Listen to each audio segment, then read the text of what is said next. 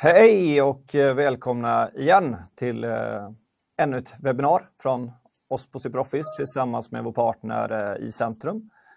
Eh, jag heter även idag Jonas Johansson, jobbar som presaler på SuperOffice och till min hjälp så har jag Viktor Romin från just i Centrum. Välkommen. God morgon, god morgon från Skåne denna gången. Ja, från Skåne. Härligt. Jajamän, det är lite i Centrum on the road idag. Ja, det är bra. Det är bra. Eh, ja, men idag ska vi ju prata om en, en liten spännande app tycker jag, eh, eh, Viktor. Vi eh, kommer ju faktiskt prata om någonting som ganska många kämpar med här ute och det, det handlar ju lite om att upprätthålla bra datakvalitet. Eh, man kanske sliter lite grann med prospektering och hur man kan hitta liknande företag mot företag som man har gjort bra affär mot jobba med företag med bra eh, kreditvärdighet och lite sådana saker. Och just det här med att ha data som stämmer är, vet ju jag att det är många som, som sliter med där ute och det har vi ju en bra lösning på idag, eller hur Viktor? Ja, men det vill jag verkligen tycka och tyvärr, vi lever ju inte i en värld där saker hålls konstanta utan det blir ju stora förändringar hela tiden. Jag vet inte, Dun Bradstreet slänger ofta runt siffran att varje år 21 procent av datat man har i sin databas ändras. Ja, och det, blir ju problematiskt om man säger det minsta när man har haft en databas i ett par år. Så att det är skönt att ha ett stöd för att säkra upp just den här biten och det är lite det vi kommer kika på idag. Ja, men precis. Och många försöker ju slita med detta manuellt, men idag ska vi titta på en lösning hur man mer automatiserat kan upprätthålla kvaliteten på sin eh, databas. Men jag tycker vi, vi kör igång så ska vi försöka hålla oss inom vår halvtimme även idag. Och eh, vill man ställa frågor så får man gärna göra det via chatten så ska jag försöka fånga upp dem och förmedla dem till, eh, till eh, Viktor.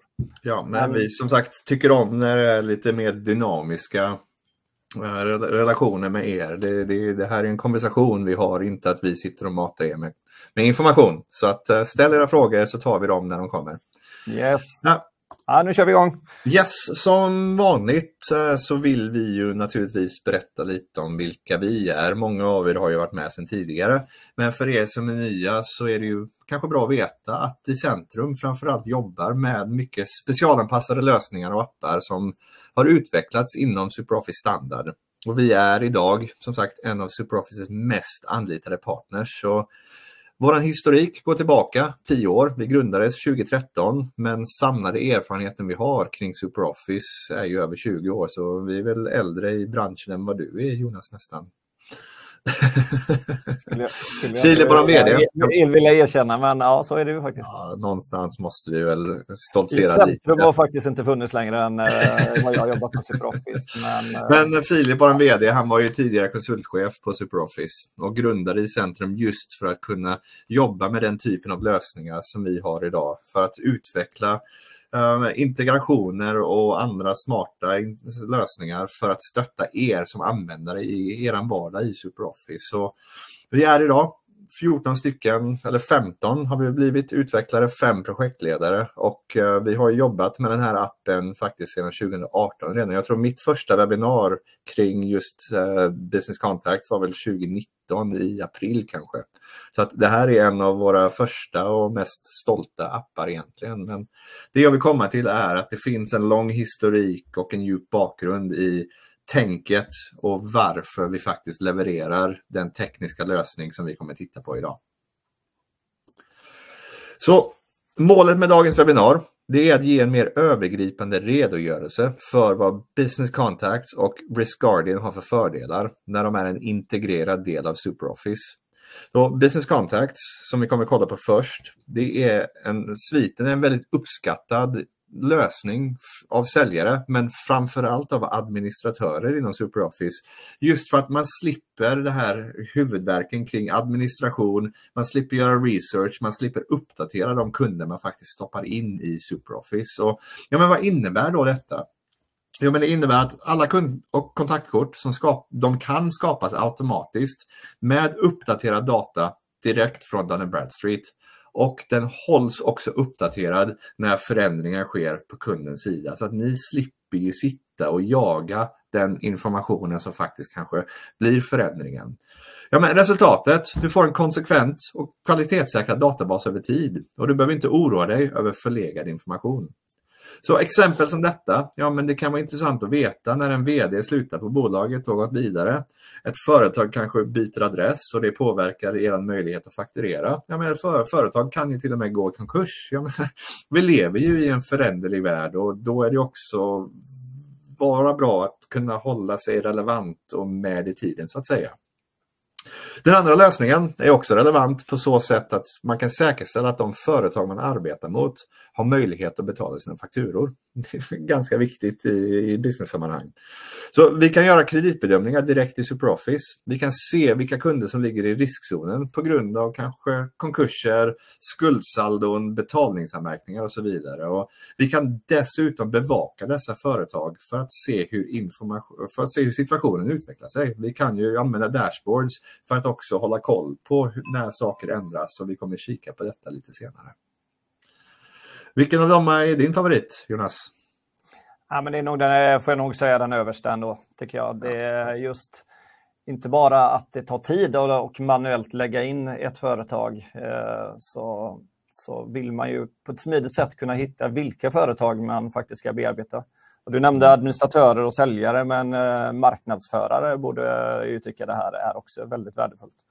Ja, det, det är ju alltså oändligt med applikationsområden om man säger så, men framför allt så slipper ju organisationer att sätta rutiner kring hur kontakt och kundkort ska skapas för att det görs automatiskt istället. Så man tar ju bort den lilla biten som är den här lilla eviga väckarklockan för alla som sitter och ansvarar för databasen i längden.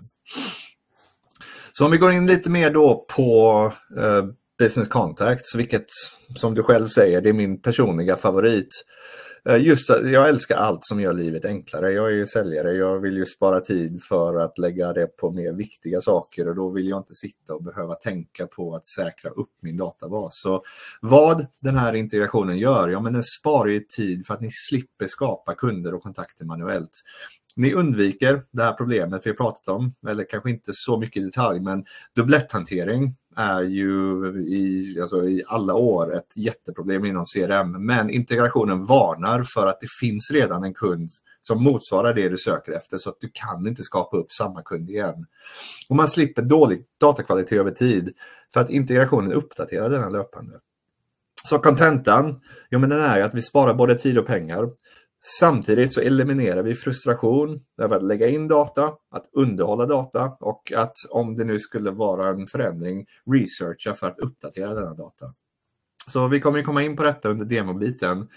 Men innan vi går vidare vill jag också nämna S i rockärmen och det är att vi kan prospektera genom denna lösning. Vi kan ju plocka fram ett, en rad kriterier på vad är det för kund vi faktiskt söker och nyttja Dun Bradstreets databas för att också plocka fram dem som motsvarar det. Eh, precis, så vad, vad, innebär det? Ja, men ingen av oss vill göra affärer med företag eller kontakter där affärskritisk data är undermålig eller inkorrekt. Och på så sätt så Business Contacts ger en trygghet genom vetskapen att den information och data som ni lagrar i SuperOffice faktiskt är aktuell och är korrekt. Och således så är det enkelt att söka upp, att matcha och skapa rätt företag och kontakter i databasen samt upprätthålla den goda kvaliteten framåt. Vi kommer inte gå in så mycket i detalj just kring själva datat, men ni ser ju här på sliden lite, lite, lite småpunkter att det är en omfattande källa av affärsinformation från större delar av Europa. Så fokus idag kommer att hamna mer på den operativa biten kring hur jobbar vi med datat i SuperOffice? Vad ger det oss för fördelar utifrån ett CRM-perspektiv? Och sen kan ju vi ha kanske en diskussion separat kring ja, men vad är källan bakom det. Det är, det, är, det är en större konversation som det också finns mycket information. Men fokus idag som sagt kommer handla på varför ska vi jobba med detta i SuperOffice. Så Dun Bradstreet definierar också skillnaden på huvudkontor och filial rent geografiskt och ger möjligheten att skapa dessa som separata entiteter. Och ni som jobbar i SuperOffice, ni känner kanske igen det här fenomenet med att jobba med relationer. Jonas, för dig, jag menar, du sitter ju på Stockholmskontoret på SuperOffice, du har kollegor i Göteborg. Pontus, Pontus är den som precis har, han, han, har, han är svikaren som har bytt till Stockholm. Men Det är för mig viktigt att veta vart i Sverige har jag Pontus eller dig för eventuella lokala möten som jag kanske måste ta. Och på så sätt också strukturera upp min egen information för att motsvara detta. Menar, du, du känner igen det här själv? Absolut, ja, men så är det. det. Det räcker ju inte egentligen att bara veta vilket företag man jobbar på utan arbetsplatsen är ju minst lika viktig. Mm. Och eh, vi kan ju prata om företag som kanske men, Ikea eller OKQ8 eller vad som helst. Alltså jobbar man mot samma företag som har hundratals lokationer är det viktigt att särskilja på dessa i databasen och matcha rätt kontaktperson på rätt ställe för att också veta vem man kanske ska kontakta och så vidare. Och den här lösningen faktiskt gör det åt er så att ni inte ens behöver tänka på det. Så har ni frågor kring detta, det är bara att höra av er efter webbinariet.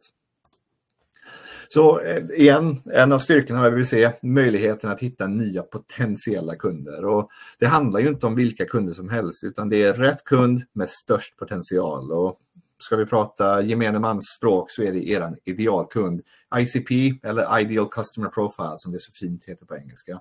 Och med Dun Bradstreet, vi kan dessutom, de har en så kallad Twin Search-funktion där du kan använda befintlig kunddata för att matcha med liknande företag och på så sätt också optimera säljinsatser. Vi kommer komma in på detta, men kan ta ett snabbt exempel. Så om jag till exempel söker på SuperOffice så kommer integrationen plocka fram företagen som har motsvarande profil och på så sätt öppnar det upp företag som jag kanske aldrig tänkt på egentligen, som ändå har samma omsättning, samma antal personer som jobbar samma sak, sak, sak, sak, sak och då ger det mig en, en bättre bild på hur landskapet ser ut för de kunder jag kan sälja till. Så att, fantastiskt starkt verktyg. Uh, och det sista innan vi hoppar över till Riscardian, ja men det handlar ju just om monitoreringsbiten och den gör exakt vad den säger. Jag kan välja att tagna på den så kallade monitoreringstjänsten och då kommer SuperOffice automatiskt via integrationen uppdatera det företag och kontakter som har en förändring på Dun Bradstreets sida. Så att ni behöver inte ens tänka på att saker sker utan helt plötsligt, whoops, så har ni ny information i SuperOffice. Men det är inget krav naturligtvis. Alltså, vill man inte ha detta på så kommer integrationen varna för att här har vi ett företag eller en kontakt som har ny information. Vill ni uppdatera kan man ju manuellt göra det också. Det, det, det, är många gånger vi har lagt upp en affär mot en kund internt och så helt plötsligt så är den affären mot en annan kund helt plötsligt för att någonting har skett. Så det hjälper ju oss i det långa loppet att också göra rätt business mot rätt person.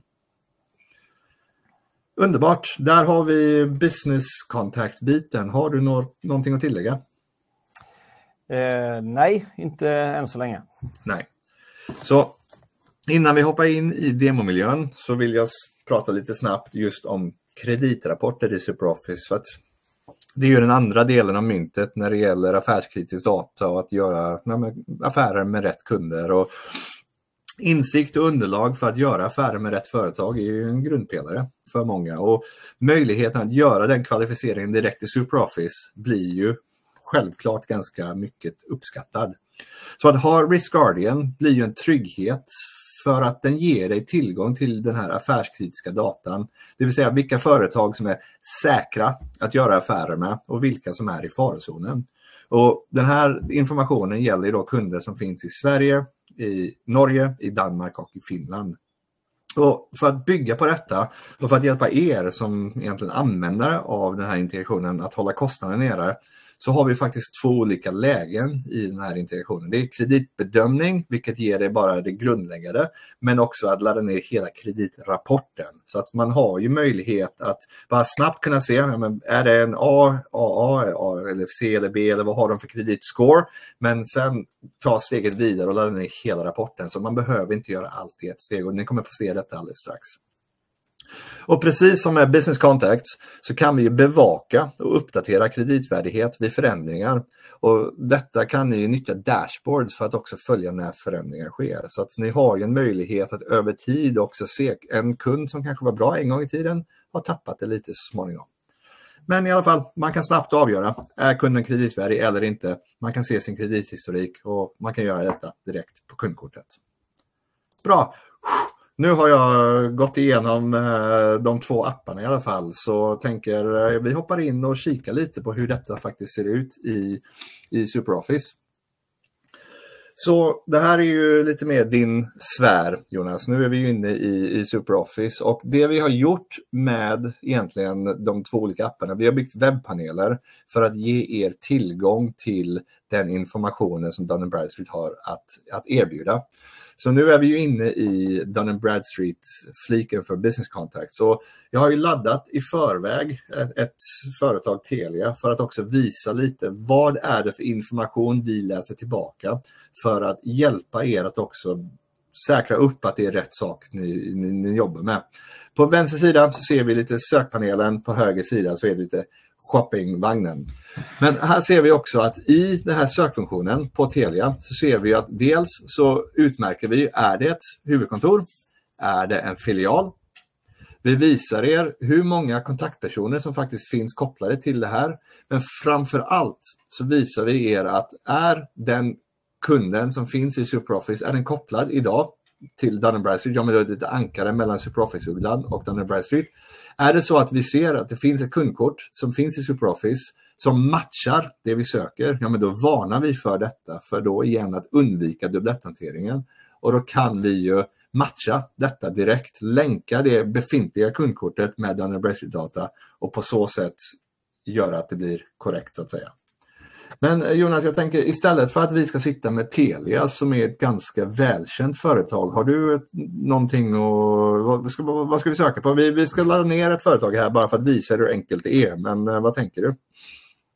vi kan ta ett, eh, ett, företag från min hemstad, eh, stad var kanske att ta i, men från Kungsan som heter Lentab, stavas med två L i början. Lentab, är det korrekt? Det stämmer. Yes. Och då ser vi, det finns ju Lentab, det finns 23 stycken Lentab. Eh, jag antar att vi ska söka efter Lentab i Sverige. Ja. Bra, då gör vi det och då har vi, då är vi nere på 11. Eh, vi kan bara kolla lite snabbt. Eh, då har vi fyra stycken huvudkontor och ja, men sju stycken filialer. Jag antar att det är Lentab AB som är den vi ska ladda ja. ner. Stämmer. Innan vi gör det så kan vi också se här att under personikonen så ser vi att det finns även sex stycken beslutsfattare kopplade till Lentab som vi kan i samband med nedladdningen av företaget också ladda ner. Så, men vi, vi tar med Mikael som är VD ändå, varför inte? Uh, så nu, nu kommer vi ladda ner Lentab och Mikael. Innan vi gör det så har vi ju möjligheten att dels då lägga upp vad är det för kundtyp, alltså kundkategori. Så vi läser ju in vad har ni för kundkategoriseringar i ert CRM. Ofta så är det ju när man laddar ner härifrån så är det prospects. Men jag kan också sätta vem som ansvarar för det. Så att det kan ju vara så att, ja men Jonas, nu är inte du på i-centrum, men det skulle kunna vara att hade vi varit kollegor, jag sitter som administratör, du ska äga det här företaget, jag kan ju ladda ner det och ge det till dig direkt härifrån. Business, det sista är ju intressant att prata om för vi automatiskt kommer att sätta en SNI-kod vid nedladdningen. Men jobbar man med kanske egendefinierade branscher, jag har bygg och jag har badrum och jag har det här och det här, ja men då kan man också definiera det direkt. Men i det här fallet så kommer vi ladda ner Lentab och Mikael och helt plötsligt så har vi ett kundkort på Lentab. Eh, uh, Len... Stavade du fel? Ja, jag vet. Jag, och nu har vi ju ett kundkort på Lentab i SuperOffice. Så enkelt var det att ladda ner från Dun Bradstreet de prospects eller kunder eller vad det nu kan vara som man faktiskt är ute efter. Men uh, av GDPR-skäl så vill jag ju naturligtvis inte gå in och kika på deras företagsdata utan jag tänker vi kan titta på SuperOffice istället uh, och vad är det vi faktiskt läser in för data i SuperOffice genom Dun Bradstreet. Och då har vi en företagslik som heter Dun Bradstreet Data. Och här har vi ju en rad olika saker. Så dels så ser vi lite när var senaste uppdateringen, men under company data, det är ju här det börjar bli riktigt intressant. För här ser vi ju att det följer med en enormt stor mängd information in i SuperOffice. Och det här är också någonting som vi faktiskt ger er möjligheten att skriva in som merfält. För igen, mycket handlar ju om att segmentera upp sin databas och kunna göra det sökbart. Så det kan ju vara intressant att veta, ja, men vilka företag har jag i Göteborg som har den här omsättningen eller som har den här antalet anställda eller bla bla bla bla bla vad det nu är som Dun Bradstreet faktiskt ger er. Så det, det, det, det stannar ju inte där, är den punkten jag vill komma till. Bara pausa där lite där, Viktor. Du fick frågan om vi kan göra det lite större. Eh, ett ja. tips där som Janne också skriver är att man kan förminska mig och Viktor, bilden på oss, så blir också bilden större. Men uh, nu zoomar vi in lite grann, så nu ser det bra ut tycker jag. Nu ser det bra ut, jättebra. Ja. Är, det, är det din Janne, eller är det våran Janne? Ja, han assisterar där lite grann i chatten. Ja, alltså, vår assistant coach, precis. Men uh, ja, jag kommer ju, när jag kommer till contact data så Janne, ditt namn kommer dyka upp här faktiskt. Så att du kommer få vara representerad också. Men vi ser ju här att det, det, finns väldigt mycket data som läses in genom integrationen som också, allt det här uppdateras ju i realtid när saker förändras. Hoppar vi över till Company Linkage så ser vi att genom integrationen så kan vi också se eh, företagsstrukturer och skapa dessa direkt i SuperOffice. Så det kan ju vara så att vi jobbar mot en viss företag men måste veta ja, men vad är det större eh, paraplyt som de är en del av. Då ser vi detta här. Och sen har vi också möjlighet via contact data att se vem jobbar på det här. Vem är registrerad i det här bolaget? Genom Dun Bradstreet och kunna skapa dessa kontakter direkt. Så hej Janne, du är med här. Jag har faktiskt skapat det redan. Men vi kanske vill lägga till Gisle. Så då kan vi snabbt och enkelt skapa Gisle som en kontakt och ha honom faktiskt som ett kontaktkort i SuperOffice istället. Och det sista är ju, vilket vi kommer komma till, Twin Search, det vill säga jag har ju möjlighet att också prospektera genom att söka upp företag som motsvarar det här, i det här fallet då SuperOffice och hitta 96 företag som matchar exakt deras profil och ladda ner detta. Men vi kommer kika på detta alldeles strax. Så några tankar där Jonas? Vad, vad, vad är din favoritbit av det här? Alltså det är ganska enkelt egentligen. Vi behöver inte överförklara det. Det är data som läses in i SuperOffice som finns tillgänglig som uppdateras. Ja, men dels så tittar vi på en flik här nu med en massa information. Eh, det är ju dock en information som inte är sökbar i SuperOffice. Men däremot så ser jag lite Bisnode-fält lite ovanför också. Mm. Kan man då välja vilka fält man även vill ha där som då också blir sökbara i SuperOffice? Vi har ju via en adminpanel möjligheten att, eller ni har rättare sagt möjligheten att ställa in detta själva. Ja. Så här kan ni ju då dels synka vilka fält ska överskrivas av information från Dun Bradstreet, men också vilka extra fält ska skapas. Så hela den här panelen som, som, som fanns som heter Dun Bradstreet, här har ni möjligheten att själv definiera vad ni ska skriva in som SuperOffice-fält och på så sätt också göra den sökbar. Så det är helt och hållet upp till er. Snyggt. För där är ju en, alltså söka till exempel, ja, men ge mig eh, alla företag inom den här branschen som mm. har si och så många anställda som omsätter de här siffrorna med dagsfärsk information är Precis. ju jättevärdefullt för oss. Och, och, det, och, det, är det vi kommer komma till här nu. Det är ju lite att ja, men om jag ska prospektera i, vi var tidigare på företag, nu är vi inne på prospektering. Jag kanske vill söka alla kunder som ligger i SNI-kod 46 som är aktiva, som har ett huvudkontor som har en omsättning mellan 500 000 euro och 2 miljoner euro i Sverige. Om jag söker på det, då har jag 21 774 företag. Ja, men eh, jag måste, eh, vi kanske söker på Stockholm istället. Eh, då är vi nere på 1723. Jag kanske vill ha företag som har e-post och e-telefon. Då är vi nere på 235. Vi kanske ska gå så långt att vi vill veta, det, det skapades sedan 1 eh, januari 2020. Då är vi nere på 1. Så här ser vi hur enkelt det är att via då de här olika kategorierna, det är 15 olika, så kan vi också snabbt och enkelt plocka fram en prospectlista, previewa den och också importera den till SuperOffice tillsätta den till den säljaren som kanske ska jobba inom det här området med den här typen av kund eller vad det nu ska vara. Men då har du ju plockat ut rätt kund för dig som du faktiskt söker. Sen är det upp till er att faktiskt göra någonting åt det. Det kan inte vi hjälpa dig med. Men det som den här integrationen gör är ju identifierar och öppnar upp möjligheterna att faktiskt jobba med det. Vad som slår mig när du söker och får en träff på 17 000 är ju vad snabbt det går. Mm. Det, det, alltså ladda 17 000 företag, det är ändå ett gäng, men det, vi pratar ju knappt en sekund. Liksom. Mm, och tittar vi i Sverige, alltså här ser vi ju olika municipality, kommuner på svenska till exempel, eller vi kan kolla på län till exempel, eller vad som helst. Alltså det finns ju jättestora möjligheter att geografiskt identifiera. Jag ritar en ruta kring det här området som jag vill prospektera på enligt den här kundtypen och så löser jag det. Gott! Eh, det var ju Bisnode, Business Contact-sidan. Risk Guardian är ju ännu enklare egentligen. Här handlar det ju då om att vi ska snabbt och enkelt kunna plocka fram kreditrapporter. Och det jag pratade om tidigare var ju just det här att det är en tvåstegsraket. Så det vi har möjligheten att göra i ett första skede är ju att ge er en kreditbedömning innan ni har behovet av att ladda ner en hel rapport. Så det vi gör via en egen flik, Riskardian i SuperOffice, är att vi visar ju det nuvarande credit rating och historiken egentligen över tid. Jätteenkelt, ni kan få det på alla språk ni vill inom Norden. Det går att lösa inom de här fyra länderna jag pratade om tidigare.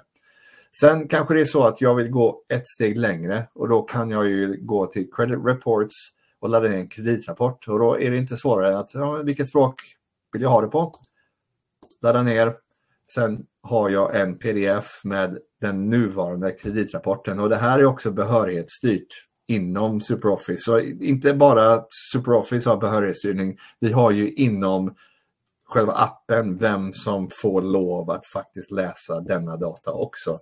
Och eh, ja, vi kan ju kika lite snabbt, men det här är ju en 11-sidig rapport på ja, allt som har med kreditrapporter att göra. Så att, ni har alla sett det innan, jag tror inte vi behöver gå in så mycket i detalj på kreditbiten, just vad, vad som finns och inte finns. Men det jag ville komma fram till är att det är jätteenkelt att skapa detta på studs när man väl behöver det.